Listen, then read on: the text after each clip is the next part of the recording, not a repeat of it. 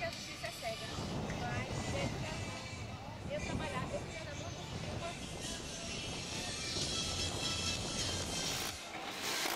Vai falar pro funcionário, vamos deixar uma roda solta. Vai, pai.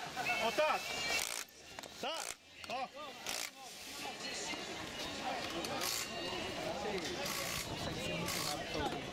Agora mudou tudo, a gente sai bem rápido.